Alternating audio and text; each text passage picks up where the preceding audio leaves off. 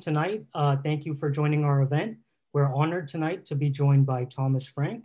He's a writer. He's an author of uh, best-selling books, including What's the Matter with Kansas, Listen Liberal, and his latest book is called The People No, A Brief History of, of Anti-Populism. So we're really excited and grateful to be joined by Thomas Frank. We have a lot of exciting topics to be talking about.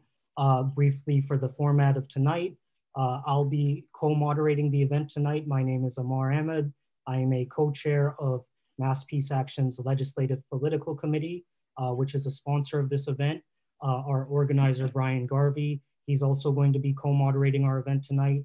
We'll be having some uh, prepared questions from Mass Peace Action members. And uh, towards the end of the event, we'll be opening it up for audience Q&A.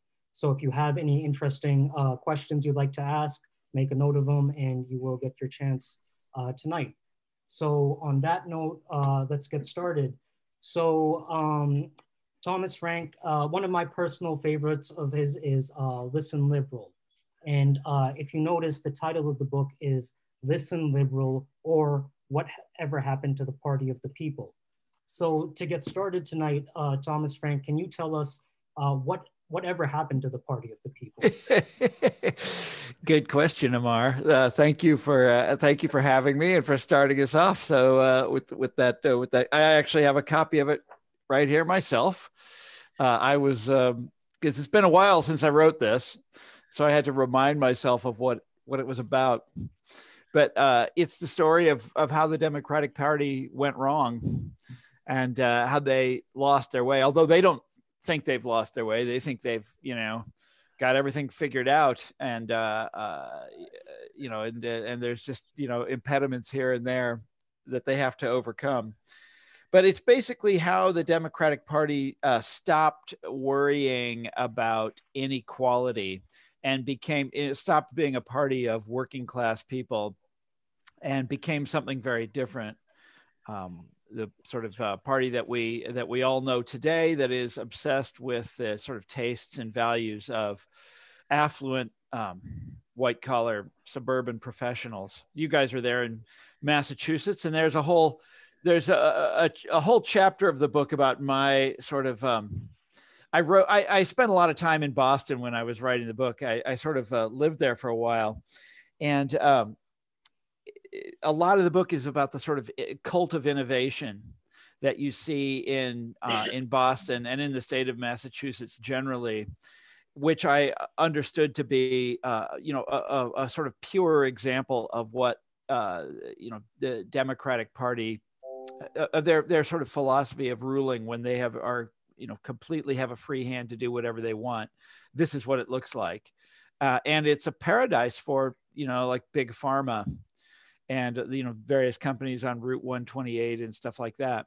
Where it looks really really different is in Fall River and uh, places like Fall River and Springfield and Western Massachusetts, which are just left behind, and there's no plan for, there's no conceivable way in which these places will recover uh, in in this sort of uh, uh liberal utopia as imagined by our modern day Democratic Party. So, the long story short, it's this. It, it, this is the story of how the Democratic Party became the second party of the rich. You know, the Republicans, as we all know, uh, are, you know, the party of the top one percent, or maybe even of the top 0.1 percent, uh, and they very ably represent certain industries and certain varieties of very, very wealthy people. You know, remember the Koch brothers from Wichita, Kansas, uh, oil money generally, you know, the story of the Republican Party, defense contractors, that kind of thing.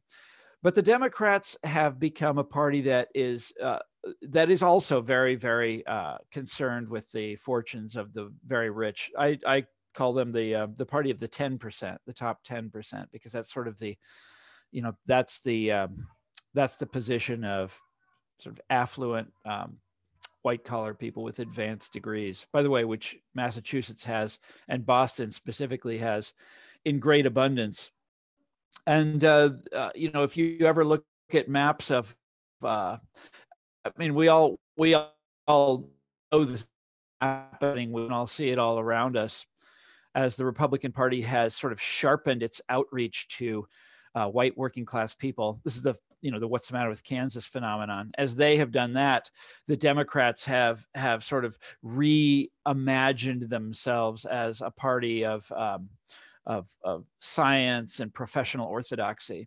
And so you see things like the state of Missouri. I was in Missouri for when the election, when the 2016 election happened, and it, I'll never get those maps out of my head. When I was a child, Missouri was a very democratic state. This is Harry Truman's home state. Um, you know, Kansas City is very, very democratic place. Uh, and uh, now the Democrats only carried St. Louis, Kansas City, and the county where the uh, University of Missouri is located. And uh, that's the same everywhere you go, basically, outside of you know a handful of of, of states. And the Democrats, by and large, are are are happy with that, with that state of affairs, and uh, they don't mind being the uh, you know a party of, you know, they're the party of one elite, and the Republicans are a party of a different elite, and they are absolutely content with that. Uh, they, you know, I've been writing about this for some time, and I'm here to tell you they have no, uh, there's no real strategy for making them change their ways. Uh, they're not interested in changing their ways. Anyhow, that's what Listen Liberal was about. But these days, that came, book came out in 2016. Actually, it came out well before the election. I had no idea that Donald Trump was going to be the Republican candidate for president when I was writing it. And it was a kind of a shocker when he went out on the campaign trail and seemed to echo themes from the book. That was very surprising to me. Uh, but these days, I'm writing about the, I'm talking about uh, something different populism the people know.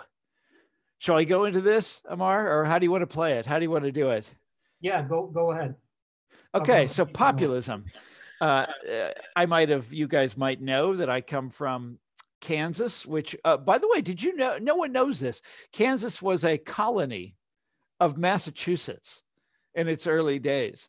It was, uh, uh, it was settled. Yeah, it was settled by um, by abolitionists who were sent out by the uh, what was it called? The um, uh, Massachusetts something something society. I, I, forget what the name of it was but they they went to Lawrence Kansas and a, and a number of other cities. The idea was to block well, yeah it was Kansas, bleeding yeah. Kansas it was to block the expansion of this what they called the slave power by force of arms you know?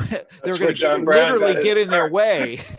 And that was yeah. yeah, I think it was called the um uh oh I don't remember what the what the what the organization was called, but they sent people to uh, to Kansas for that purpose, and that's how the state wound up getting founded. Yeah, and John Brown was one of those people and uh, and uh, they uh, armed themselves and uh, and things got a little crazy. Anyhow, that's uh, so. But those are those links are are long forgotten. Uh, you know, there's the the sort of the the the the uh, Puritan um, ethic survives to some degree in Kansas. It's the last state that, when I was a kid, they still basically had um, prohibition there. but the uh, one of the few things that uh, that Kansas is it, it can be legitimately proud of and famous for is that this is the place where the word populism was invented. Uh, it was invented in the year 1891 by a bunch of guys riding on the train between Kansas City and Topeka. And they came up with the word in order to describe followers of a brand new third party movement that had just swept uh, uh, state elections in Kansas.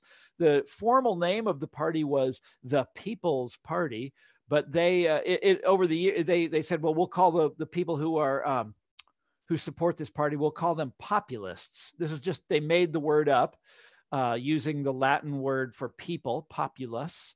And uh, it caught on. And before very long, that was all anybody called it. People, you know, who voted for the populists didn't even know that the party had a different formal name. That's just what they thought it was called the Populist Party. It was the last great third party movement in American history. It was a, uh, I'm often surprised at uh, that this is that that what I'm about to tell you is not is unknown to a lot. A lot of Americans don't know it. Um, but this is, you know, we learned all this stuff in elementary school in Kansas. but it was a it was a left wing third party. The word did not mean proto-fascist or Donald Trump or anything like that. What the populists were was a movement of farmers and industrial workers. So there was a huge farmers union in those days, enormous, millions and millions and millions of members. Uh, and uh, uh, they wanted uh, basically government programs for farmers. Uh, they wanted um, the government to take over the railroads because railroads are a natural monopoly and farmers were sort of uniquely in the grip of, of railroads. They wanted to take the US off the gold standard. Uh, and replace it with what what they called fiat currency or the silver a silver standard is a kind of halfway point along that and a bunch of other things they wanted to uh, they wanted to fix the electoral system so they wanted votes for women they wanted the secret ballot they wanted um, uh, the direct election of US senators. And they got all those things. In fact, they got everything that I just mentioned. It took years, but they eventually got all of those things. And uh, but the the movement itself didn't last long. Uh, lasted about six or seven years, uh, and then sort of disappeared. And uh, uh, well, where should I go from there? Should I tell the story of populism, what happened to them? Because it's absolutely fascinating. Or should I tell you the story of how the word, how the meaning of the word changed? Because it has, it had nothing to do with, uh, uh, you know, the way we use the word today is to, to mean like a racist demagogue or would be dictator or anything like that. These people were as far away from that as you could be in the 1890s. They were, well, they were people like us they were they were the good guys at the time, uh, and the but the word has evolved over the years in this really peculiar way, to the point where now people write histories of the 1890s and try to understand the populists as these kind of proto Donald Trumps, which they they weren't at all. Anyhow, it's an absolutely fascinating story. What part of it would you like me to tell you? So are you saying that the uh, historians of today, when they look back at that uh, time you're referring to, these farmers and uh, people who wanted to break control from the railroads uh, is an example you gave, that they refer, the historians of today refer to them as proto-fascists because they called themselves populists? Not historians, but uh, uh, you can find this kind of uh, this kind of attitude all over the internet, and you can even find it in some um, like political science work and stuff like that. There was a historian who did make this argument. That's where it comes from. Uh, he made the argument in the 1950s. Uh, it was a historian called Richard Hofstadter, wrote a very famous book about uh, about populism called The Age of Reform. And the idea was it was a study of reform movements in American history and why they had not got you know why they failed. And uh, he's the one that sort of came up with this stereotype of populism as a movement of of wrong-headed um, backward looking basically hayseeds the idea being that farmers you know nothing good could come out of a movement of farmers because they were not as he put it they were not people of the city. They weren't uh, accustomed to complexity and big ideas and you know they couldn't understand globalization. And they were suspicious of economic you know of professional economics uh, and therefore they were you know anti-intellectual and they were um, he he said they were anti-semitic and they were supposed to be xenophobic this was all disproven uh, in a really crushing way uh, but it took years for it to be disproven. And uh, Hofstadter's book was a runaway popular success. He got the Pulitzer Prize for saying this. Uh, the book was a huge bestseller. It was widely taught. Uh, and nobody read the various refutations of it. I mean, there's entire books that historians wrote refuting single chapters of Hofstadter's famous book. Uh, and uh, but this is not, you know, this is not widely known. And so what happened is that Hofstadter's redefinition of populism as a generic term denoting the pathologies of working class movements. Uh, his redefinition of populism caught on one of the you know even though it was massively refuted by the american historical profession it caught on with political scientists it caught on with journalists and it caught on with the general public. And so that's where the word changed. One of the reasons that it caught on is because this is attractive to believe. It's difficult for people today to understand that farmers were ahead of the Ivy League, that farmers were more radical, farmers were more progressive, farmers were more open minded than Ivy League professors. Nevertheless, it was true.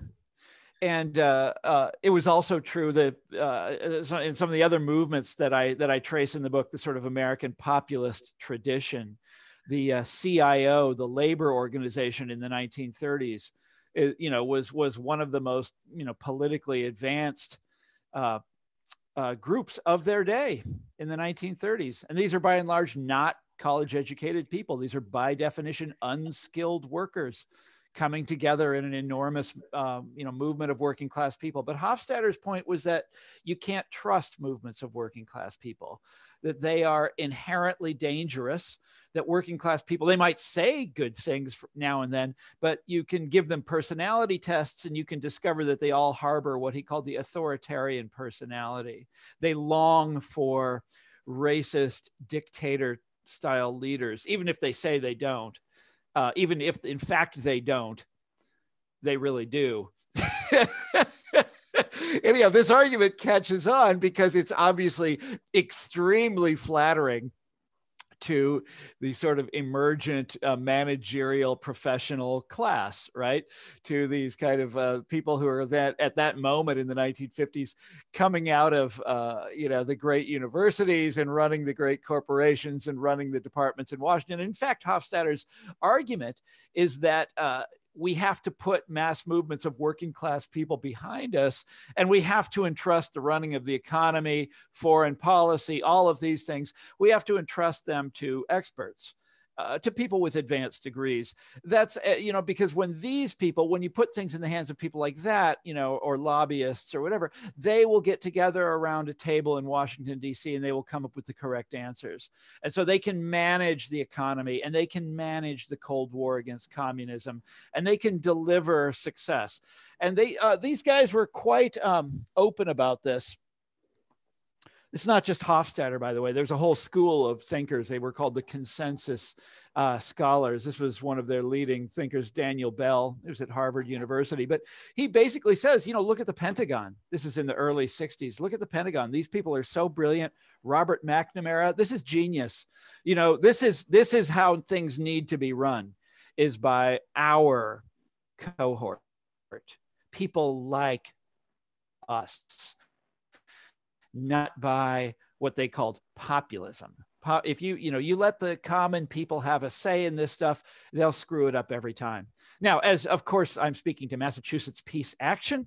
You guys know, as Paul Harvey would say, the rest of the story, right? With the Vietnam War, the Iraq War, you know, all of the things that these people then succeed in screwing up. We're actually living in my own theories that we're living in a time of epic elite failure and that the real thing for people to be studying you know we've got all of this literature there's entire academic departments now that study there's a whole pedagogy that studies uh, what they call global populism which means you know these right-wing movements these these frightening uh, uh, uh, you know demagogues all over the world. And and now it's it's it's it's really uh, scary when ordinary people try to take things into their own hands and what they never uh, uh, describe or talk about or, or, or contemplate is the thing that I think is so interesting. Why do elites keep screwing things up?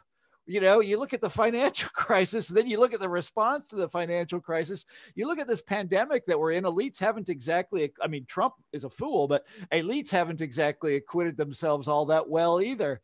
And, uh, you know, for me, that is the uh, so much more interesting part of our you know of, of our of our modern world is you know when you cut the people out of decision making which we really have done in this country. I mean you there you look at uh, you know these mass movements like the farmers alliance in the 1890s or the labor movement in the 30s and 40s and 50s that's all gone. You know these mass democratic movements by by which we could participate in uh, political decision making, and it really is in the hands of um, you know a tiny clique of people, and this tiny clique of people keeps screwing up. But I, I I'm getting away from the sort of main subject of the book, which is what I call anti-populism, which is a uh, you know it's it's a kind of a a dialectic. You have these uh, uh, thrusts by uh, left wing popular movements like the farmers in the 1890s, the labor people in the 1930s, civil rights people in the 1960s. And then you have this counter attack that I call anti populism, and it happens uh, very predictably. Uh, and in the 1890s, well, uh, this is the this is the story that I wanted to come back to is how populism ended it's it's absolutely fascinating. So this movement is starting up in Kansas, demanding these various uh, economic reforms, uh, various political reforms. They have some success. Uh, they win in a number of Western states. Uh, they win in in some places in the South. Um, they like they have a, a mayor of San Francisco is a populist. You know, they it's the last third party movement that that that meets with some success all across the country and the economy goes into a tailspin in the 1890s. Uh, you know, you have uh, a terrible uh, economic collapse, a stock market crash. Uh, you have strikes, the, the, famous Pullman strike out of Chicago. The uh, what's the big steel strike? The Homestead strike happens. First ever march on Washington, led by a populist in 1894. It was called Coxey's Army. Nobody remembers it anymore, but it was the first ever uh, March of the Unemployed on Washington, D.C. And um, it looks like the populists are the great coming thing in American politics. And what happens instead is this really fascinating story. The uh, Democratic Party gets together for their convention in 1896, presidential election year, in the depth of this depression. Democrats get together for their convention they uh, uh, they reject the sitting Democratic president Grover Cleveland. He's not going to be their candidate.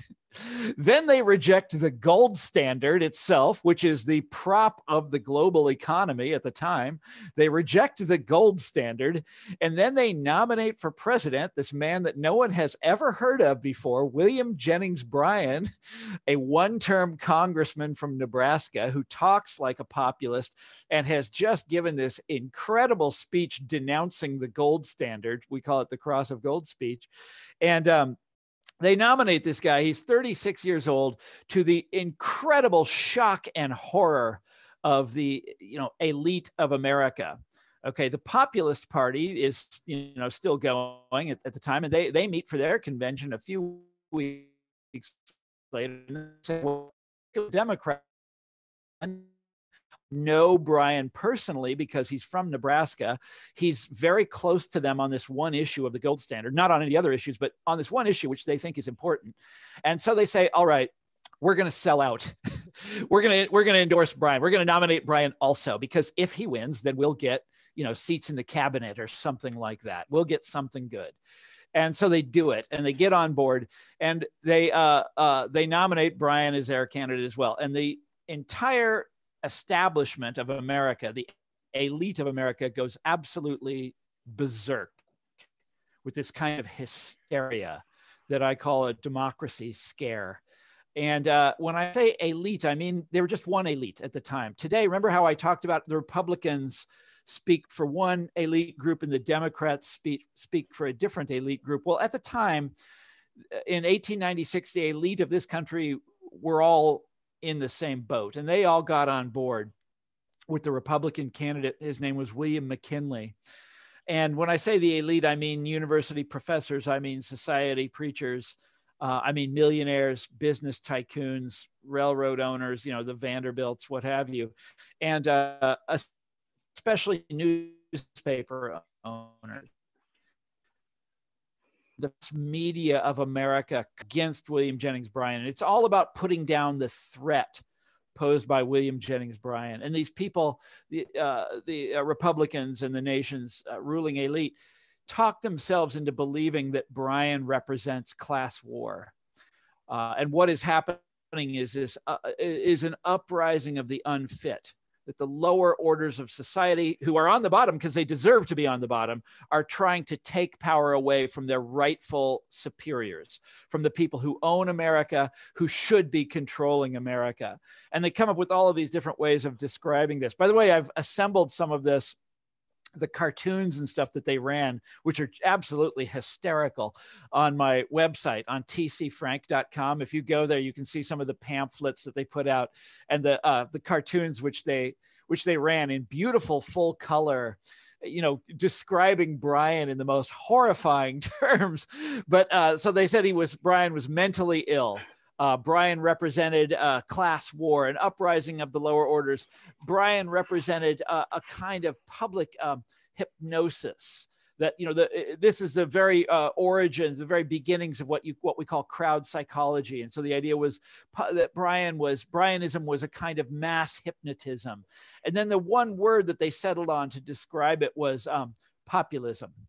This was the word they used for bryanism. They called it populism and so this was anti-populism and uh, it, you know it was this, the horror of democracy now, a lot of you guys out there have read your history and you know that this country, and by the way, we've heard a lot about this uh, just in the last few weeks. This country's founders were not fans of democracy. I mean, with the partial exception of Thomas Jefferson, maybe Ben Franklin. Uh, the rest of them did not like democracy, didn't trust ordinary Americans, didn't want to let ordinary Americans have the vote, and in fact, uh, wrote the Constitution in such a way as to limit uh, popular participation and to make sure that the you know the democracy was kept well under control. That's what the Electoral College was about. That's what the U.S. Senate was about. That's what the Supreme Court is all about to this day. And um, that's what you saw in 1896 was this this exact same attitude the horror of democracy. And my argument is that this recurs in our national life from time to time. And it recurred in the 1930s when roosevelt was president and organized labor was on the march uh, and you know the new deal was really turning america upside down. We were regulating wall street breaking up monopolies. I mean they broke up the wall street banks uh, for the first time ever, uh, you know, scrutinizing traders on Wall Street, uh, set up, you know, uh, agencies to uh, employ the unemployed, you, you know, the WPA, the, the CCC, et cetera. Uh, you know, right down the right down the list, we were the economy was being turned on its head, power was being taken away from uh, the powerful, and they reacted in, in, exactly the same way in 1936 and set up a group the first great right wing front group to attack Roosevelt in exactly the same way they attacked uh, Bryan and populism in 1896, uh, using the exact same arguments, only with a lot of uh, racism mixed in this time, uh, because this is the 30s. And so race science was a big deal by then. And uh, uh, it, it's absolutely fascinating. In 1936, though, these guys lost overwhelmingly. Uh, in 1896, they succeeded in, in destroying Bryan and crushing populism. Uh, but in 1936, the uh, it didn't work out that way, and Roosevelt won re-election in the great one of the greatest landslides in American history. Anyhow, what is absolutely and by the way, uh, Amar, you got to tell me when to shut up because I will just blab the whole evening if you don't stop me. Yeah, so okay, so that no, that's great. And I have so many follow-up questions I want to ask, but uh but I want to get other people a chance to ask some questions. So I'm going to kick it over to our member uh Paul Shannon. I think he has a couple questions he'd like to ask. Okay. Uh Brian, can we unmute Paul? I think am I unmuted now? Yep, we can hear you. Okay. Uh, Thomas, thanks very much for spending this time with us. It's We've wanted to hear you for a long time. Um, I hope you can understand that uh, just about everything that uh, we're doing right now is affected by uh, the upcoming election. And um, it's just uh, every, every, I find myself just uh, evaluating everything that happens in terms of how this election is going to turn out.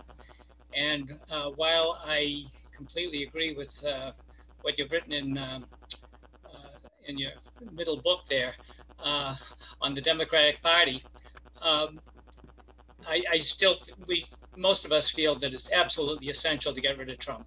Oh, I, I and, and the only way to the only way to do that is uh, is through, uh, of course, Biden. But I'm wondering if you could apply your analysis that you come up with in Listen Liberal uh, to uh, the dynamics of this election going on right now. Yes, I'd be happy to.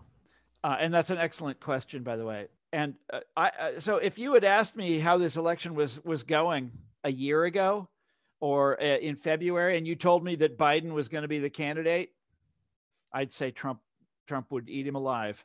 Uh, this, but this virus has been so disastrous, and his Trump's handling of it has been so catastrophic uh, that I, I think Biden is going to win, you know, despite himself. Um, you know, he's barely campaigning at all. Um, although he did go to one of my favorite hamburger stands in the world yesterday. Did you see this? He was in North Carolina at Cookout. Now I don't, I know you don't have Cookout in in Massachusetts, but it's a southern thing anyhow. It's a wonderful place. Um, I, you know, Biden seems like a nice guy, uh, but that that one of the the things that you notice with the you know with the Democratic Party was their their zeal in putting down the Bernie Sanders movement, you know, and uh, they they're because and and I you know I've tried to understand this for a long time because not just because I'm a Bernie supporter but also because I just don't think Bernie's that scary. I I don't know why they were so enthusiastic about about making sure that he wasn't the candidate. And what I finally decided was that he represents to the Democrats um, this past that they have suppressed, you know, that they have moved themselves away from. And he sort of represents what the, you know, it's a kind of a generational thing that the, you know, the Clintons and their generation, that was their great generational project was, was severing the Democratic Party from the New Deal tradition.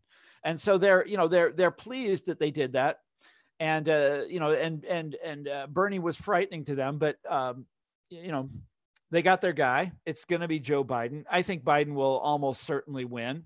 I'm, you know, in case you hadn't guessed, I'm going to go out and vote for him. But, uh, you know, I'm not enthusiastic about what he's going to do as president. I just want to see this current guy gone, you know. But in some ways, it's it is the playing out of everything I've spent my career working on. Donald Trump is the culture wars gone mad you know the and do you remember in what's the matter with kansas i talked about the republican appeal to white working class voters and how it was gaining strength. And they're coming up with all of these ways of doing this uh, without ever doing anything for these people. And trump is the ultimate example of that you know and then uh, uh, and then you know he gets in into the white house. And of course what does he do? You know really nice tax cuts for the wealthy, deregulates all of his friends, you know, all of these polluters and everything. Uh, and, uh, uh, and and Biden is also the sort of the same working out of what we've seen with the Democratic Party. This is a man who is one of was one of the uh, the ones most responsible for making them into a party of high finance the party of Wall Street. Do you remember he had his uh, Biden was more responsible than than any other Democrat for the um, the bankruptcy bill in the Bush administration. Biden was also more responsible than any Democrat except for Bill Clinton uh, for mass incarceration. This was his baby. Uh, and this is a this is a, a terrible. I mean, it, it's highly ironic that in the, this great year for Black Lives Matter, that this is the candidate. The candidate is the guy that that engineered, you know, mass incarceration. You know, that's who we're all supposed to get behind. Ordinarily, the contradictions would be um, would be so difficult. Would would be toxic. Would be poisonous. Those contradictions would. But Trump is going to, you know, Trump is is himself so vile.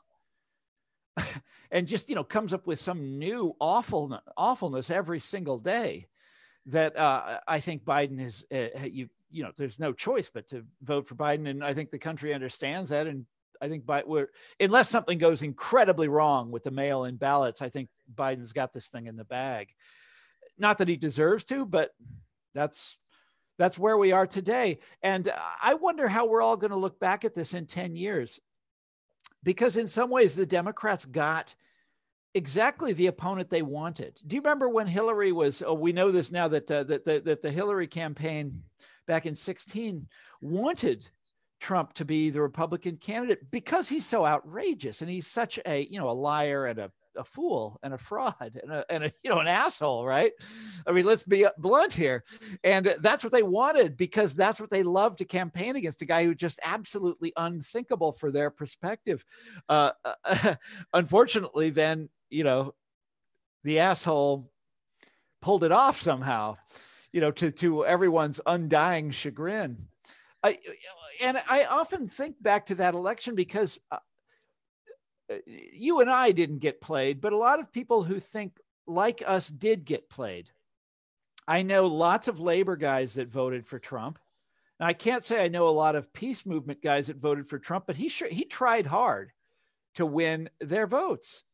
I mean, there's you can't ignore that he did that, right? He talked about the endless wars, and uh, it, I mean, anybody could. There was a discussion in the peace movement about whether he was, you know, going to end the wars faster than right, but we could also see that he was insincere. Yeah. You know that that, that yeah. I mean. That that he didn't mean any he didn't mean any of it. I mean he's saying it again now. He's saying he's going to get the, the troops out of Afghanistan. He'll say anything, you know. But uh, uh, we were sitting there this afternoon in a meeting, wondering whether Biden or, or Trump will be better in Afghanistan, and we don't know. Yeah. That's where we are. I, I, I don't know either. And uh, uh, I mean, the, the thing is that he has become, Trump has just become so. I, I used to be able, in 2016, I was able to look at him and say, uh, you know, he is, he talks in a really vile way, but you know, uh, we can we can we can have a conversation about him. I, I don't feel like you can do that anymore. Uh, we know we know what he is. Uh, we know what he does, and it's not good. there's nothing there's nothing wholesome about this guy. It is just poison. But here's the here's the here's the thing that is really interesting to me. This is not going to end with Biden's victory. I suspect Biden will be a, a very weak president. Just based on what we know about Biden and his career and where he is in life uh, and the kind of man that he is. I suspect Biden will be a very weak president. And I suspect that in four years, you're going to see another Trump, not the current president, but maybe his son. Or you're going to see a Trumpist. You're going to see Ted Cruz, who's a very capable politician, having completely swallowed the uh, Trump agenda. And so my warning is, you know, if everything goes according to plan and Biden wins in a couple weeks, great. You're going to have four years to figure it out, Democrats. Four years to figure out your way out of this cul-de-sac that we are in. Okay. Because if they don't start beating these guys, if they don't, you know, figure out a way to win back those white working class voters that Trump took away from them, or you know the peace movement guys that Trump took away from them, admittedly a smaller group. But if they don't figure out a way to win these people back, they're in big trouble. And so, what I mean by this is that when Biden is in the White House, he and his people have to sit down and seriously reconsider the direction the Democratic Party has been going in for a long time. Uh, and I, frankly, I, they're not they're not going to do that. So so then what do we Let's do? talk about the past. Let's talk about history some more. I'm sorry. One. Go ahead, Amar. If we want to, well, actually, I had a question, but let me kick it off to Brian. He's our co-moderator after all. Sure, sure. I have a, a quick one for you. This is one that I've I, I only just thought of uh, as you were talking about uh, about the gold standard and and and Bryan. I, I thought of um, I thought of uh, President Eisenhower and his speech early in in his first uh, in his first term uh, about humanity being crucified on a cross of iron. Uh, I I Didn't just realized he must that. he must have been referring. Oh, of course he was. Williams yeah, definitely, uh, definitely. Bryan. Yeah. Um, well, it's one of the most famous metaphors in in uh, you know political history. I've used it myself on many occasions. Uh, by the way, Eisenhower, a Kansan, there's a exactly. great man for yes. you, an underrated president. Uh, if you guys are ever out in Kansas City, the Harry Truman Library is in Kansas City, and then you drive about 100 miles out into Kansas, out into the complete empty zone, and you get to the Eisenhower Library. Um, again, we, we don't have a whole lot to be proud of, but Eisenhower is, is Eisenhower is one of them. Yeah, but I interrupted my, you. no, my question was going to be about uh, peace uh, as a as a populist issue. Uh, recent polling, I think, from the Eurasia Group uh, has shown two to one that people want military spending to be decreased and and that money brought home.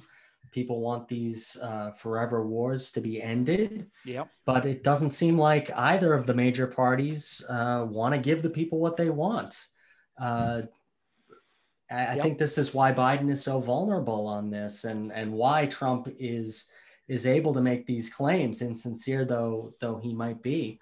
Uh, I I wondered if you you might, might elaborate a little bit about peace and populism. Yeah, excellent, excellent question. Um, the populists in their very short political life uh, uh, one of the things that killed them was the Spanish American War. There were very they there were there were only a few of them left in Congress by 1898, but uh, that pretty much wiped them out. They were um, they were initially in support of uh, you know of the uh, Cuban revolutionaries, you know, revolting against Spain. You know, they were anti-colonial, obviously, but uh, the the sort of war fever, as you guys know, war fever tends to kill left-wing movements and populism was sort of the first example of that. Uh, they uh, in 1900, William Jennings Bryan ran for president again and was nominated by the Democrats again. Pop, the populists were by this time uh, almost gone, uh, but he was he he he was nominated by the Democrats again, and he ran on openly on the issue of, of uh, anti-imperialism because by this time William McKinley had announced we had taken over uh, the Philippines from Spain, and we were occupying the Philippines as a colonial power, and had and McKinley had basically rolled out a whole sort of um, um, ideology of imperialism. He wanted to play the same game that the uh, British and French were playing, and lest we forget the Portuguese were also playing and the Belgians and the Germans and everybody else. and he wanted a piece of that action and he was going to I believe he wanted to Christianize the Philippines, which is kind of a joke because they were already a Catholic nation. And um, and Bryan and the Democrats actually uh, uh, ran against him on an anti-imperialism platform. That is what they, you know, that was the that was the campaign issue that year. In 1896, it was the gold standard. In 1900, it was imperialism. The Democrats were against imperialism on the grounds that a democracy should not be an imperial power. And uh, Bryan, you know, he lost pretty badly that time. in 1896, it had been a little bit closer, but in 1900, he got wailed on.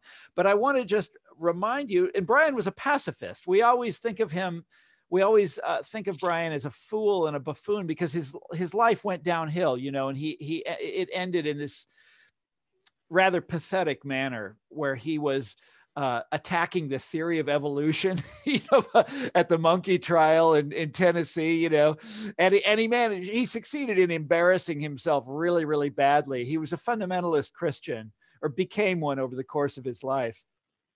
But among other things, he was also a pacifist. I mean, off and on. He was not a um, a uniformly good man or a hero for our modern times or anything like that. But he was right on a lot of the issues, and he was right on that one. And he saw that World War One was a disaster. And when President, he was President Wilson's Secretary of State, and he saw that Wilson wanted to get in that war, and he he wanted nothing to do with it and resigned over it. Uh, and so he, from time to time, was capable of doing you know, of doing the right thing. But I, my point here isn't that that Bryan was, um, you know, a great uh, leader or anything like that. All of those politicians back then had something wrong with them, and he's no exception. But I, I just want to point out to you that anti-imperialism is capable of rousing enormous mass support in this country, and we shouldn't just, you know, uh, you know surrender on that issue. This can be anti-imperialism can be a popular issue and it's it's totally possible to bring together as a man like Bryan did anti-imperialism and fundamentalism. You know, today those two things seem like incredibly far apart for us, but back then that made perfect sense. He used to go around the country giving the same speeches over and over and over again. This is how he made his living. And uh, he would give one about Jesus called the Prince of Peace. And, you know, we could we could use a shot of that today i think Thanks, Tom. Uh, yeah, how do we how do we increase uh, support for the anti-imperialist movement across the country? Well, this is, I have to tell you, this is not my, you know, my subject. I've never researched that and I haven't really ever given it a whole lot of thought. But I know you can do it. I know it can be done. And I know that I think this is the important thing. It should not be a, a movement for highly educated people. This is one of the sort of the toxic things that came out of the 60s. You had this great anti-war movement that opposed the Vietnam War and uh, eventually succeeded in stopping it. You know, this great triumph. But it also succeeded in um, it, it split the left you know, you had the labor movement where a lot of their leaders were supporting the war, not because they particularly believed in it, but because they were supporting President Johnson uh, and they were anti communist and stuff like that. And you had a, a, huge part of this country decided this is all covered in the last chapter of The People No. It's like how, how the left came apart. You had people who blamed the soldiers for the war and who blamed blue collar people yeah. in general for the war. And as, as we all know, the Vietnam War was a product of the political science profession I mean, I hate to say that, but you know that's true. Robert McNamara and all those other guys, you know that book, uh, The Best and the Brightest. It, it, it, wasn't labor unions that got us into that war. Yes, they thought they were being good guys and supporting Johnson in that thing, and they, and it's just it's just a, it's a tragedy what happened, the way the left came apart over that war. But it became the, the the idea that became enshrined was that opposing Vietnam was something you had to be an educated person to do and that's a toxic idea. That's a bad idea because what you guys are fighting for and what you guys are supporting is something that everyone should be, that should be open and available and common, the common sense of the millions. And it what I mean, 1900 was a long time ago. Okay. And, and, and populism was a long time ago. But that is in our blood. That is that democratic you know that we, we should uh, resist and despise and hate imperialism. That is what a democracy is. And everybody in this country can understand that. And i just there's got to be a way to get back to that sensibility and make that the common sense of the millions by the way it was that again during uh, you know uh, World War II, it was actually very difficult for Roosevelt to persuade the public to get involved in that because the, the experience of World War One had been so dreadful. You know, people had been enthusiastic about World War One. they, they learned, you know, a terrible, terrible lesson. Anyhow, you guys know this history better than I do, but that's the task: is to make this a mass, make the left into a mass movement again. Yeah, definitely. That's that's one of our objectives. That that's what we want to do. We don't want the anti-war movement to be all people with college degrees and advanced degrees. It should be a mass movement. Um, for our next question, I'm going to kick it over to Mary Ellen, a Mass Peace Action member from Fall River. From Fall River. Hi.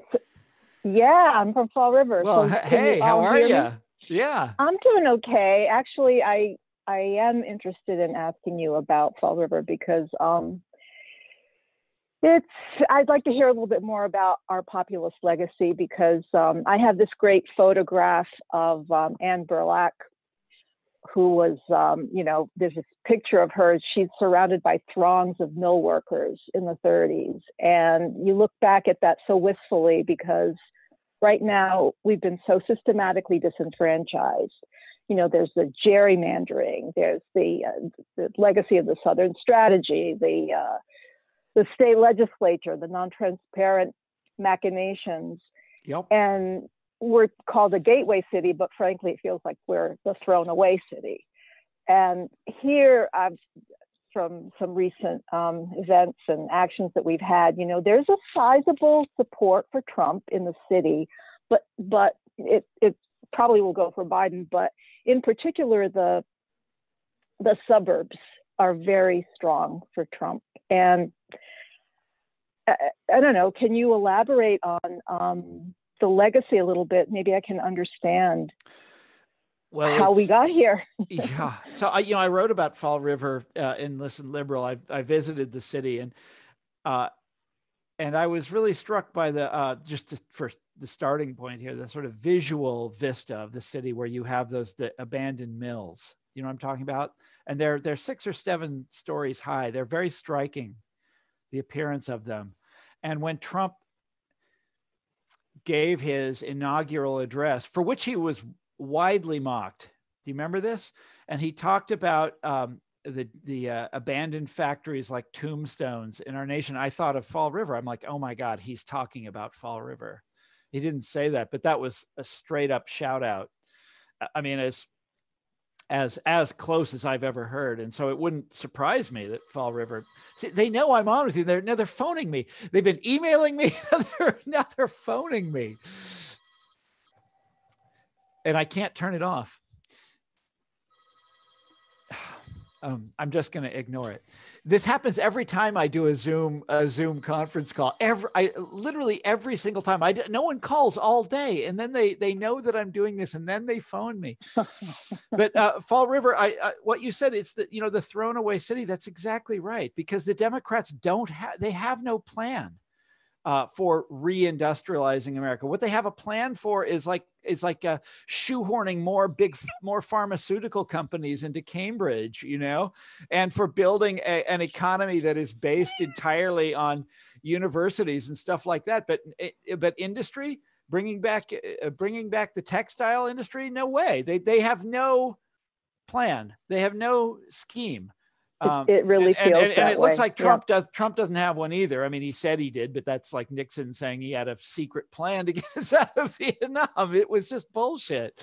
And uh, I, but it, I remember. Uh, uh, so in in researching uh, my new book, The People No, I read a lot of labor stuff from the 1930s and a lot of stuff about the organizing drives in Fall River, and it was one of those uh, really inspiring moments in our democracy you know, and all the different ethnic groups in, in Fall River coming together and, uh, you know, and, and organizing those mills and a, a wonderful, wonderful time. And yeah, it's, uh, that's that's the time when people like us were winning. And anyhow and now it's all it's all going in reverse. I don't have an answer for fall river. Um, i think that y- there's no reason you know i'm not a working politician or anything. There's no reason you couldn't have one though. There's there is there are answers for everything. People often say, you know, they talk about farm communities where in the part of the world that I'm from, Kansas and Missouri, where uh, small towns in Kansas and small towns in Missouri look like Fall River. They're deindustrialized. Right. They're they're empty. Their downtowns are in ruins. Uh, you know, it, it it makes you cry to go through these towns and to see what has happened to them. And when the two parties, you know, when the Democrats say, we got nothing for you, you know, the answer for you is to go to MIT, that's not an answer. And here comes Trump saying, oh, I'm going to make it great again. Well, you know, that's better than the people saying there's no answer. Of course, he didn't do anything. But there are things that would make a difference. There are, like, uh, one of the things I always point out enforcing antitrust laws. I don't know if that would help Fall River, but it would sure as hell help Kansas. It would help Missouri. It would help, uh, uh, you know, farm ta- ta- towns in farm country. Uh, there are all sorts of things you could do, uh, but they would be costly, and they would benefit people who aren't billionaires and who don't donate to campaigns, and who didn't go to college. Uh, and uh, so, in other words, they're not going to happen. In other words, the only way to make them happen is to do it ourselves. So, a, a mm-hmm. populist mm-hmm. movement I never gave you my definition of a populist movement. What what you learn when you study the history of populism and movements, you know, our populist tradition in America, by which I would include organized labor, uh, civil rights, et cetera, et cetera, is that a populist movement is when people from different racial, ethnic backgrounds, working class people come together for economic democracy. So working class people from different races coming together for economic liberalism. And what's what you see when you study this history is that it's you know uh, you have to have leaders leaders are important you have to have franklin roosevelt but you also have to have organized labor you know, William Jennings Bryan is important, but you also have to have the Farmers Alliance. You have to have the mass movement of farmers. You know, Lyndon Johnson is important, but you have to have the civil rights movement. You have to have the anti-war movement out there. And what I what I have learned is that mass movements are how reform is is made in America, is how reform is done in our country, in our history, in a democracy. In other words, that Richard Hofstadter, the historian I was talking about a half hour ago, Richard Hofstadter had it entirely upside down. Reform is not made by you know a bunch of lobbyists in DC. It's not made by a bunch of really highly educated people sitting around the mahogany table and coming to consensus with one another. Reform is made by people like you and me building a mass movement. That's how it's done. That's how you get results. It's how you get change. And that's the only way you're going to save a place like Fall River. And it's not much of an answer, but that's what I got. By the way, I really liked Fall River. I'm so upside down. I'm so backwards. I really like places like that. We need you. Um, if these mass movements are going to come from everyday regular people how are they going to know what to do without their advanced degrees you know? well this is okay that's uh, that is a great question. We're and i see we're almost out of time so you saved the best question for last. Because you know what everybody says there's all these works books about populism that came out the last few years and they call populism anti-intellectual. It's a movement that's against uh, elites by which they mean uh, highly educated people. It's a movement that rejects science None of that is true. Uh, populism was, you know, if you look at the history of it, they did not reject science. It's true they didn't go, they weren't highly educated people, they were farmers. You know, by definition, they probably hadn't even gone to high school, but they thirsted for ideas. They loved knowledge and the populist movement had this army of lecturers that would go that would travel around the country lecturing to huge gatherings of farmers. You know what the chautauqua movement was? Yeah. this was basically a continuation of populism. Uh, but the idea was to bring uh, highly educated people out to the hinterlands and they would give uh, you know they would they would they would lecture to uh, farmers. These farmers were hungry for learning. And there was a whole culture of pamphlets uh, and newspapers. So in in like in my in my home state of Kansas, every small town had its own newspaper. But back then they'd usually have more than one. They'd have a Republican one and they'd have a populist one, and they'd go at it hammer and tongs. But the populist one would make it its business to talk about, you know, uh, uh, uh, counter orthodox economic theories that were going around, like Henry George and stuff like that, uh, and to talk about big ideas the populists were intensely curious about big ideas but no they were not uh, they did not support the gold standard the toast of the economics profession. They believed in all sorts of ideas that were not in the mainstream orthodoxy of their day but the punchline anybody that studies populism the the the, the what you come away from it you know they were denounced and reviled by the academic elite of their day because they rejected the gold standard and they rejected modern economics but the punchline is the populists were right the gold standard was a terrible, terrible thing. Everybody knows that today. Almost nobody stands up for the gold standard anymore. Uh, the populists were right about the, the, the great intellectual questions, and so what the what I keep coming, and the same is true in the 1930s. The labor movement wasn't hostile to learning or hostile to ideas. They just had, or the the New Deal. Franklin Roosevelt wasn't hostile to ideas, but he did bring in ideas from a lot of of uh, out of the way places. He brought in economists who were not in the mainstream of the profession. As uh, there's a famous article by uh, John Kenneth Galbraith, who worked for Roosevelt. And he was evaluating Roosevelt's uh, economic advisors. And he said, look, if he had accepted the mainstream economic wisdom of 1932, he would have been no different from Herbert Hoover. Hoover was surrounded by economists that were telling him what to do, and it was terrible advice. And Roosevelt brought in all of these people from out of the way places, these heterodox thinkers, you know, uh, crackpots, basically. And again, the, the cranks, they were derided as cranks. And the cranks turned out to be right. And so when you look at these modern day books attacking populism because it's supposed to be hostile to ideas, what they mean, they say, oh, populism hates elites. Populism won't listen to expertise. What populism won't listen to is them. Mm. It won't listen to the uh, you know the guy the the, the the professional monopoly. As we all know, all mon- all professions are essentially a monopoly on ideas, and they have a built-in ideology, like the economics profession, the probably the profession I'm most familiar with. Uh, the economics profession acts as a group to keep out uh, ideas that it doesn't approve of. They have all of these me- methods for every profession does this, but the economics profession mm-hmm. is notorious for doing it, and also for protecting the insiders who are all, uh, almost always wrong, as we all know. They're wrong all the time. They're wrong. They're wrong again. They you know they predict things that never happen. They say things will not happen that then take place. You know, it's a it's a it's a it's a it, it's a study in folly this profession, but they've been very, very good, very successful at keeping out outsiders out of their profession, out of their, their field of expertise. All professions do this.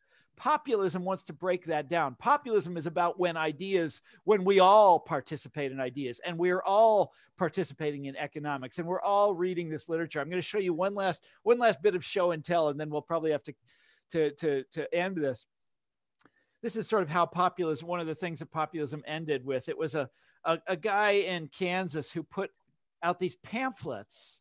You see this? This is a debate. Clarence Darrow and I forget. Anyhow, uh, they were, you could get them for five cents. Five cents. And this is like farmers bought them. They sold them in vending machines what is a liberal?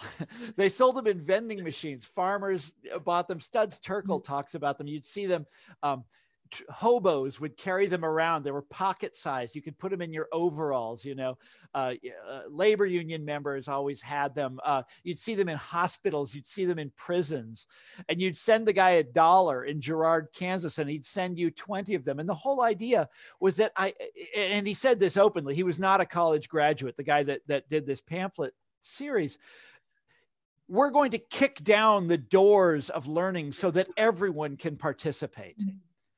And that was a great idea. And uh, uh, it was an immensely successful operation. He sold hundreds of millions of these pamphlets for five cents a piece. And that's populism. That's what it's about. It's not hostile to ideas, it just demands that everybody be allowed to participate. And, uh, you know, in my life, I've discovered there is a real hunger for that. People love learning. They love reading history. They love understanding the world. And it, the more we open that up, you know, I got a PhD and all that stuff, but I'm not employed in academia anymore. And my whole object in life is to write books that, uh, you know, to take on big ideas and make and describe them in a way that anybody can read. Oh my God. Okay, now I'm going to go faint. Tom, we were uh, we we were under the impression that uh, the event would go to eight thirty. Um, eight thirty. Okay, that's fine. I'm sorry, I, I had forgotten that. Okay, so you let's keep going.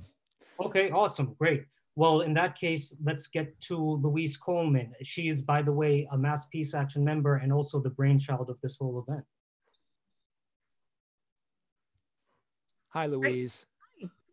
Hi. Um, well, what I wanted to know was um, how we can use this transformational um, time. I mean, we don't have an FDR. Um, we have come out of a, or are coming out of a really horrible, horrible, horrible time. We don't have an FDR. We only have ourselves. And I just, it just feels like it is depressing that more isn't possible, but it just seems like a terrible time to waste. Is it, it, well, all we have it looks like are us. Um, and so, how do we galvanize people? I mean, it seems like one of the main issues that people are most interested in is this whole thing about um, all the money that's being wasted on nuclear weapons. I mean, it's yeah. billions and billions of dollars, and it's it's just a total horror show, and it's totally self-destructive.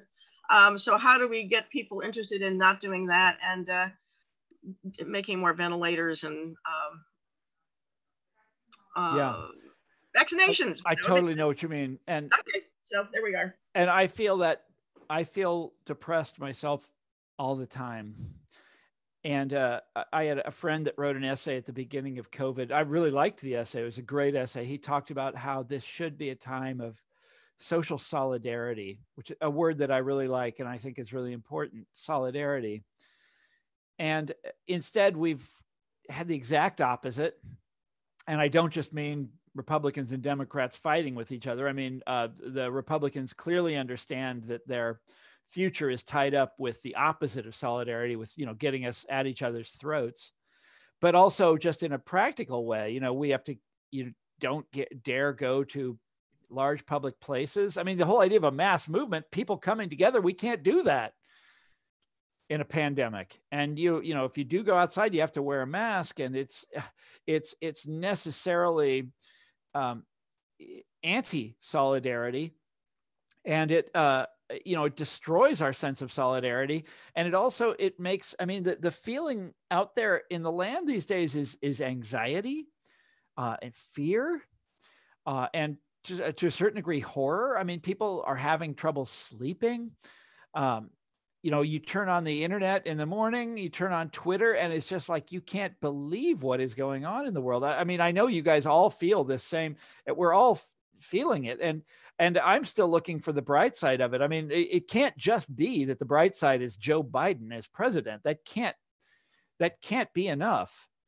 Uh, and i i want to know also you know what is the great thing that's going to come out of this? I would love to see a great sense of social solidarity but I don't know how that comes about in this situation that we're in. Um, I, I, honestly don't know. Now, my friends, my liberal friends here in DC and, and uh, elsewhere in America are constantly talking about how we have to pressure Biden once he is, once Biden is president. We constantly have to pressure him, you know, to to do the right thing. And uh, I don't have high hopes for that. And then my own pet theory, which I rolled out for you earlier, that, that Biden will be forced by the prospect of a, of a, of a renewed Trumpism, that Biden will be forced to take to reevaluate the course of the Democratic Party. Well, he's not going to do that.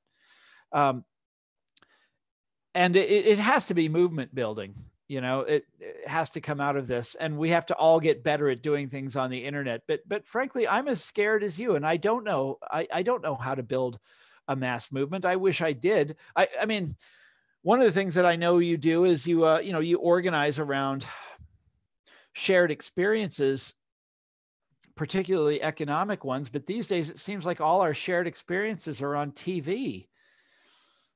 you know what I mean?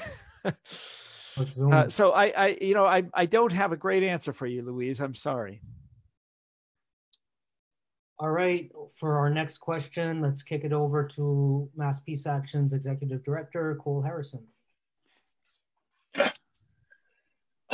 Uh, thanks, Amar. I'm going to show a map of the Markey Kennedy race. Um, that uh, primary was on September 1, and there's a, there was a clean geographical division between the towns that Markey won and the towns that Kennedy won. Markey is red or orange, Kennedy is green. And for those who know the geography of Massachusetts, I don't know if you can see my mouse yeah, pointer as I yeah. go, but but this is kind of your your your west your your relatively liberal affluent suburbs of Boston. This is your horse country up here. This is your your hill towns in the Berkshires. So these are relatively affluent areas that went for uh, Markey.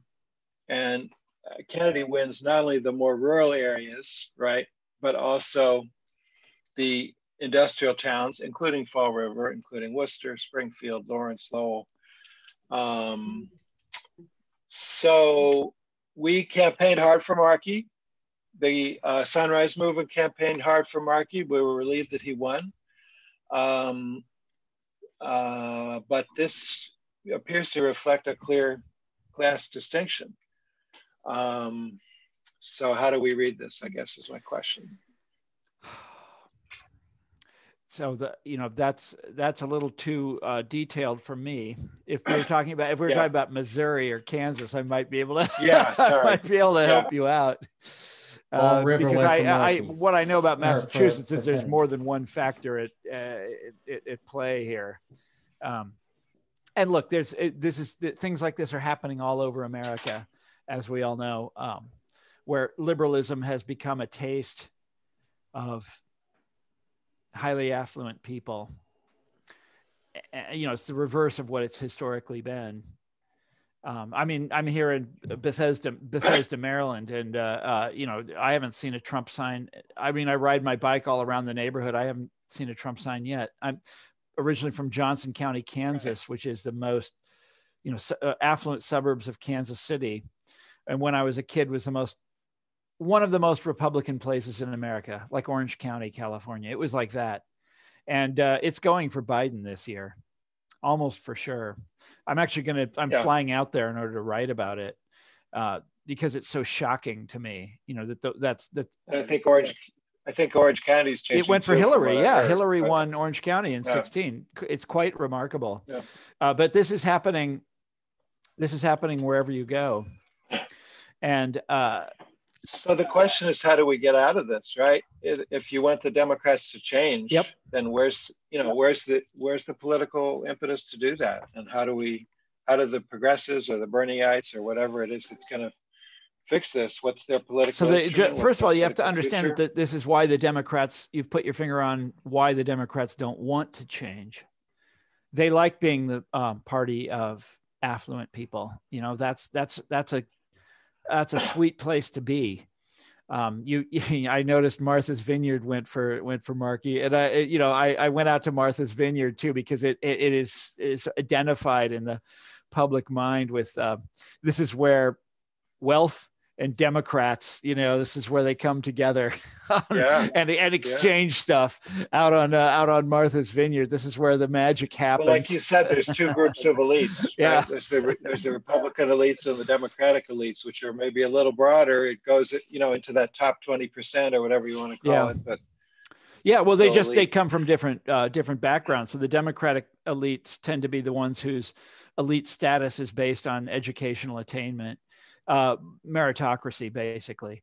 Uh, by the way, there's an excellent book uh, you guys in Boston would be interested in. Uh, there's a I write a lot about meritocracy and listen liberal and the Democratic Party's increasing sort of faith in and identification with um, fancy uh, colleges and you know high SAT scores and education is the answer to to everything.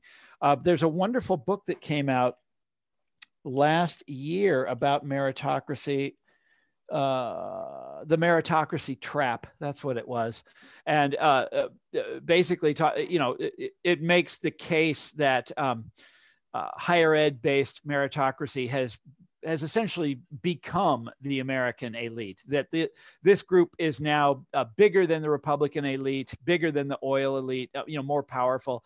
They control Wall Street. You know, Wall Street has gone just in our lifetimes from being when Reagan was president being deeply conservative, deeply Republican, to today being uh, largely Democratic.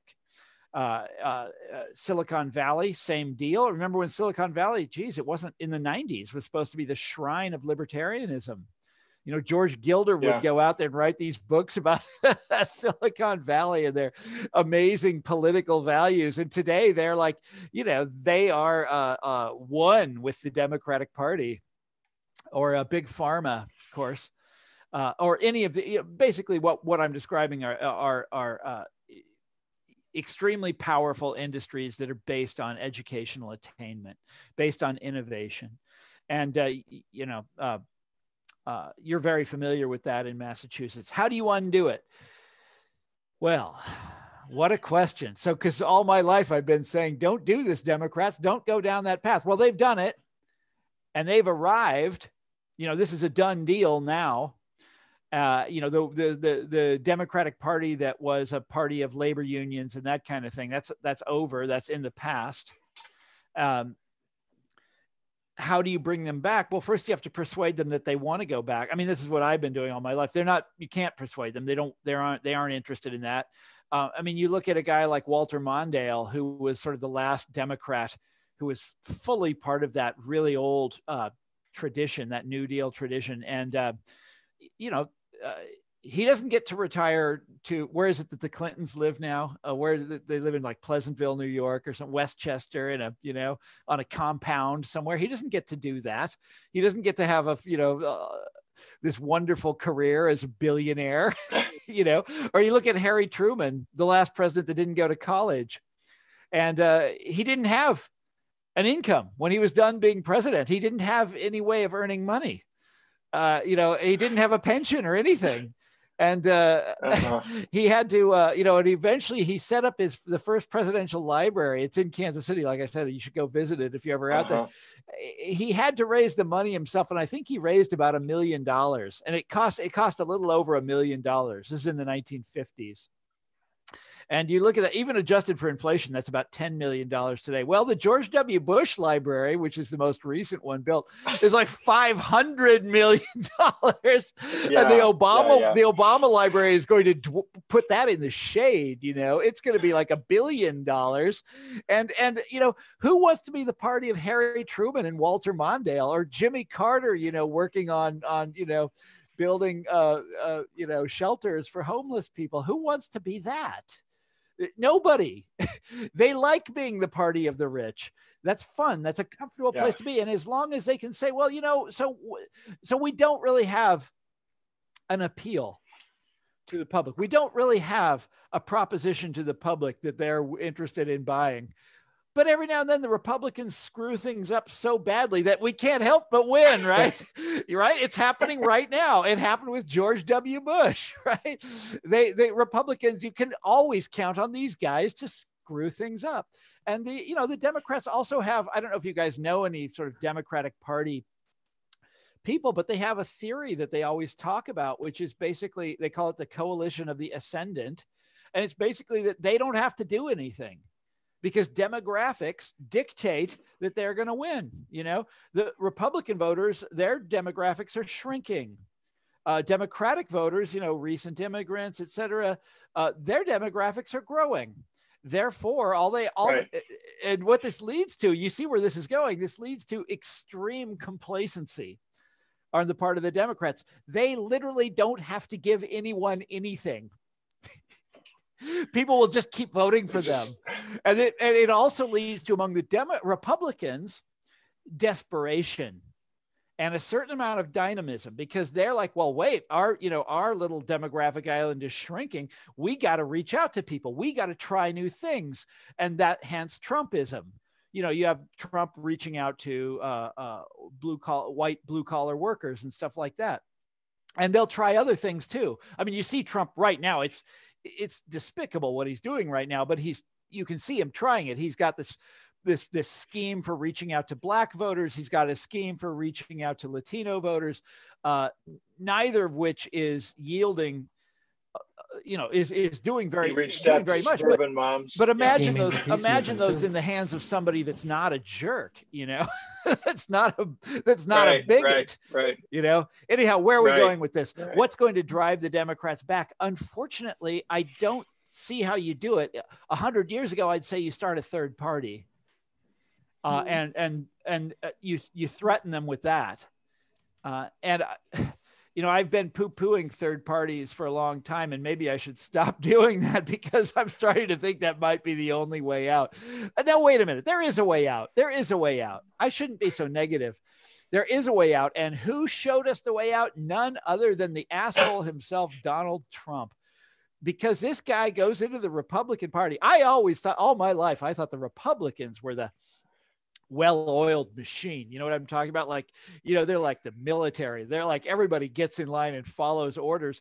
But I'll be damned, this guy shows up and destroys the Bush machine and beats 16 other Republicans, you know, and just collapses the entire party. And now they've turned into a cult of Donald Trump himself. That's a well, that's what we tried to do with Bernie, right, but, but, but you know we didn't quite win. Compare Bernie to uh, compare Bernie to his pal Ralph Nader. Nader got nowhere doing the third party yeah, thing, and no, look what Bernie did. Now Bernie is a. Uh, we all know now Bernie is a one of a kind guy. Uh, he had a weird kind of low key charisma that's going to be hard to replicate. It's going to be hard to find another Bernie but we will find them. I guarantee you. Uh, when Bernie first ran, I interviewed him in 2014. It was before he had announced, but everybody knew he was going to announce. And I interviewed him, and, and, and he was a great guy. And I really liked him and, you know, all that stuff. But it was not, uh, it was hard to see. It was hard to take him seriously, especially in Washington, D.C. This town regarded him as a crank and that nobody thought that he had a chance. And he gave them such a scare in 16 and then such a scare again this year.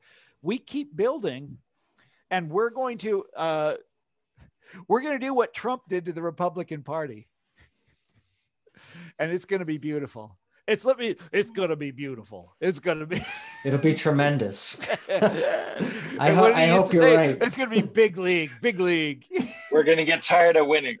I hope you. I hope you're right. Tom, I gotta ask you about your T-shirt. exactly. Tired of winning. Yeah. Tell us about your T-shirt. Oh, I got it at a thrift store in uh, Quebec City. I, I I used to like to go to Quebec on vacation, right? Because it's here in in North America. It's not that far, and they speak a foreign language. and I and so I can I can parley and petite put a Franzi, so uh, so I like to go up there. They have a a great music festival too. Thank yes. I, I, I, and they're you know they are really nice people, and it's beautiful country. And I and and look, Quebec City and Montreal, those are wonderful places to visit. So that's I don't even know what it signifies. I have no idea. 2013, May 2013, month of trees and forests. I have no idea what that means. I got it at a thrift store. I like it. Thank you. But to, to that point that you were just talking about, uh, I, I, I, in my opinion, I think one of the one of the big mistakes of the Sanders campaign is was an unwillingness to to criticize the Democratic establishment to the same extent that Trump uh, Yeah. was was willing to. But uh, one, I know he you, t- you talked it about. He did do it yeah. in 16 and he got a lot of pushback for that. I wonder if he was, you know, uh, gun shy in 2020.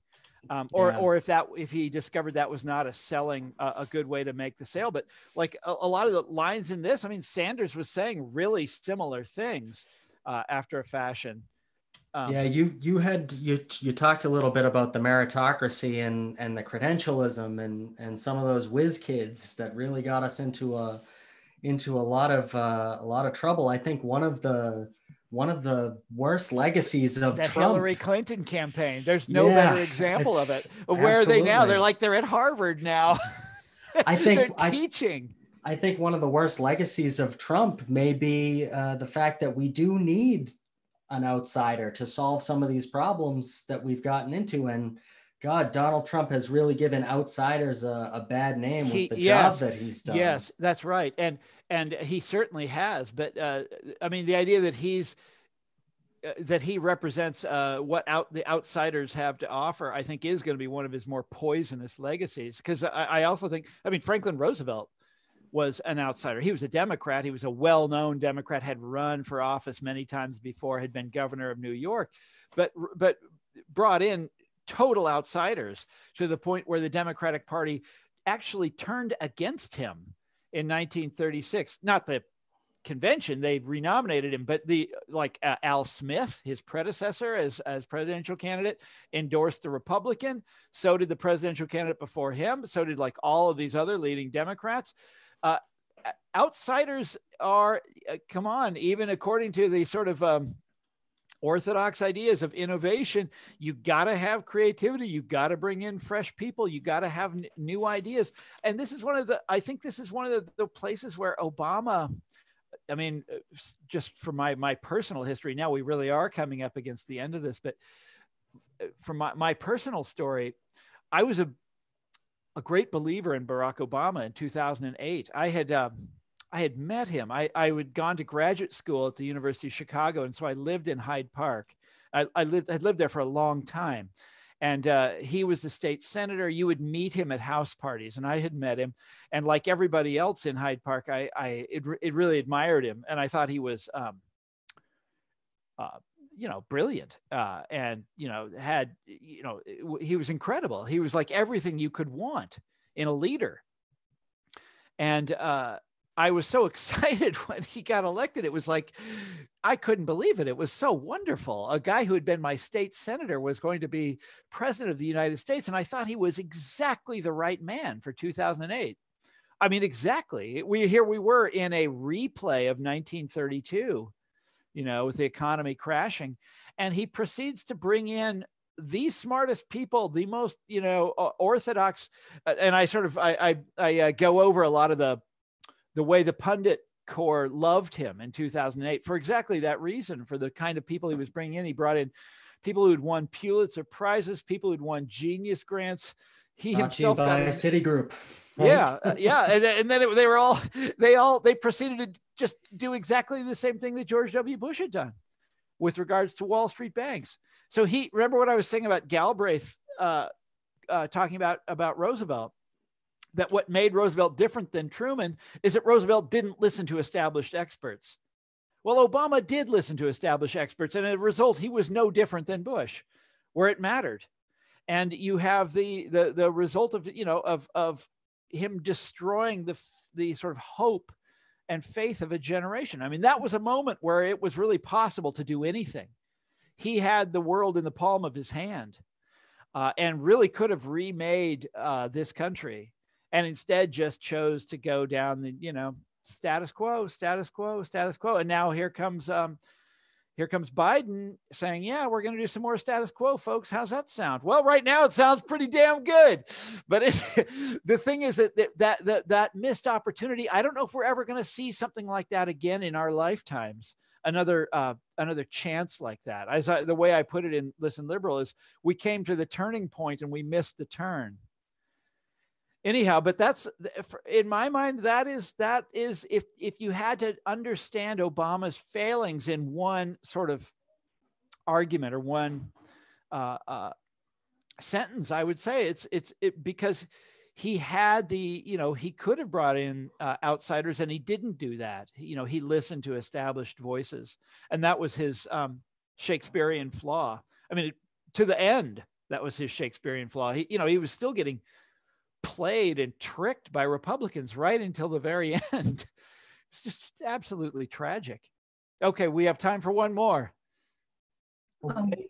Um, well, I was just gonna say, uh, I was I was just gonna give some closing remarks and let you, uh, Thomas, give us some last words before we sign off. So I just wanted to remind everyone that uh, Thomas Frank's books include What's the Matter with Kansas, Listen Liberal, and his latest book, The People No a Brief History of Anti-Populism. If this discussion interested you, you can go purchase these books and read a lot more. Thank you, Thomas, so much for being with us tonight, sharing your time with us, even past uh, the eight o'clock deadline, which you thought, and we went 30. But uh, thank you so much. And uh, do you have any closing words you want to leave us with? Any final thoughts? Oh, I would. I mean, this has been a lot of fun, guys, and it, it's and and I and I, you know, going to eight thirty doesn't matter. It's COVID time. It's not like I got anything else to do. I, I just, you know, I feel bad these days because uh, I would love to be meeting with you guys in person, like I used to do in the old days, going around the country on on a book tour, and it's not.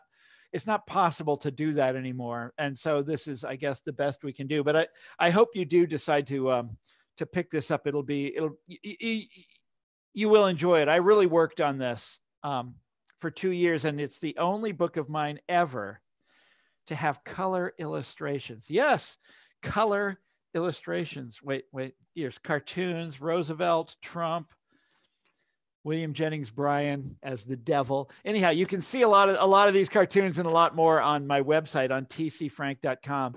And you can also sign up for my newsletter then, and so you won't miss any of my journalism, such as it is. but I look forward to the day when we're all able to do this again in person. And thank you for having me. Thanks, Tom. We look forward to that day too. Thanks again so much for coming. Thank you everyone for joining us tonight. Thank you to everyone who asked a question. Um, I we had a lot, of- lot of fun. So all right. uh, that note, everyone see have you a great later. Bye bye. Yeah, it's over.